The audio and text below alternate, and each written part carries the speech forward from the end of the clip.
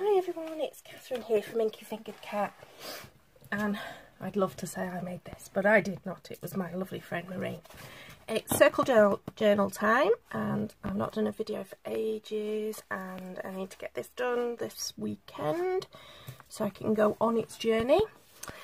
So um, I thought I would video the process but I have to just say this is the most adorable, adorable Little Mermaid and what's really cool is it goes over onto the other side. So you've actually got, I don't think I can actually get the camera far enough away to see the whole picture in one. But look how absolutely stunning that is. I tell you what, Nat Marie, she's a talent. So I'm not going to give you sneak peeks of everybody's because I want it to be a surprise for Marie. But I've decided, if I just cover that up with piece of paper, going to see it then. I decided I want to decorate this one, okay, because it's an unusual shape and I thought that would be a bit fun. I have absolutely no plan in mind at all.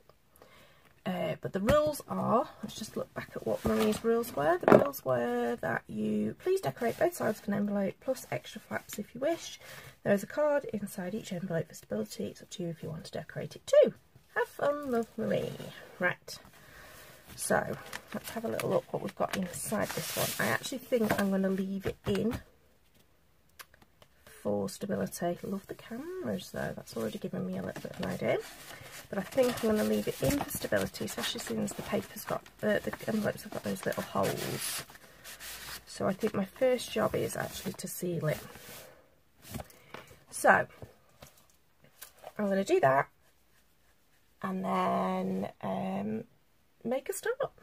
So I'm going to probably pop all this into fast forward because there's no way on earth I'm going to put a video out that's as long as it takes me to decorate a journal. Um, so I hope you enjoy.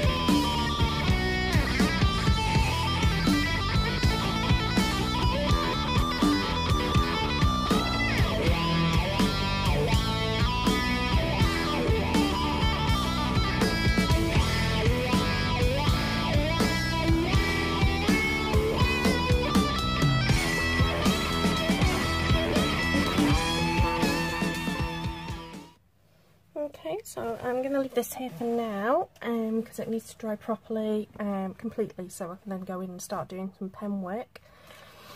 Um, but just as a quick recap on what I've done so far is I've used a few different colours of um, the Paper Art Artsy Fresco Finish Paint. So I started, oh I started with a layer of the uh, black gesso, then went in with a layer of guacamole, then a layer of Bora Bora, um, then I did some printing uh, using the South Pacific and the um, green patina using um, here go, a little piece of cardstock that's linen cardstock, uh, painting that and then pressing it in. Then I did stenciling using amethyst and some chartreuse um, and the black gesso again. Also did a really small amount of stamping. I've kept stamping really small this time. Um, some Kindello stamps and I've just partial stamped in the black gesso for the moment. Loads of splatters uh, and a little bit of white gesso for the lines and the, another layer of splatters. So this is a piece of wallpaper which is actually on my daughter's bedroom. I've got some leftovers and when I saw that paper that I'd got the cameras on I thought ah I've got some of that leftover wallpaper I can use for my focal image so that's the starting point. No idea how close to the finish I actually am, but I'm really happy with what I've got so far. So I'm going to leave it be, leave it to dry and come back to it. So um, I'll be switching the video off and you'll see me again in a minute. Bye. Right, so everything's dry now. Time to do some pen work.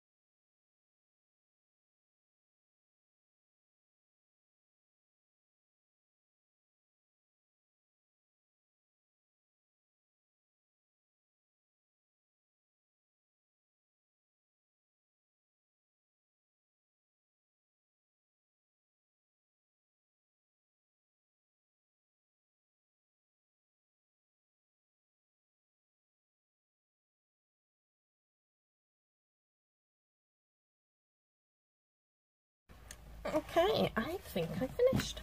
So I've added of pen work, um, some more stamping using a few Emma Godfrey stamps and the um, Claire Lloyd Express Yourself stamp.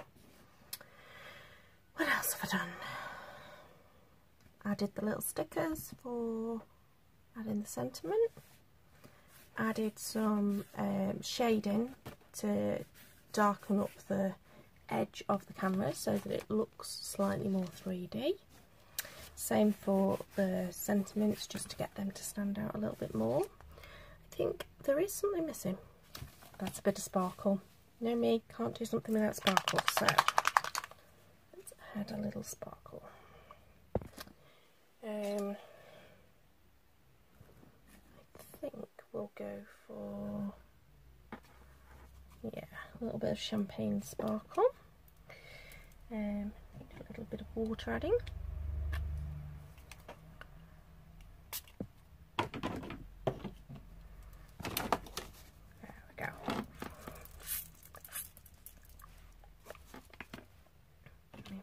water. That's better.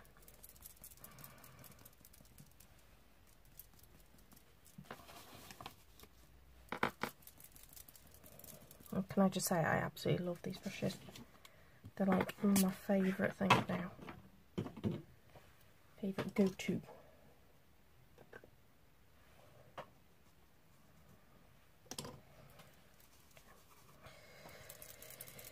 Because they are just amazing for adding splashes. I just thought this needed a little bit of sparkle. There we with that.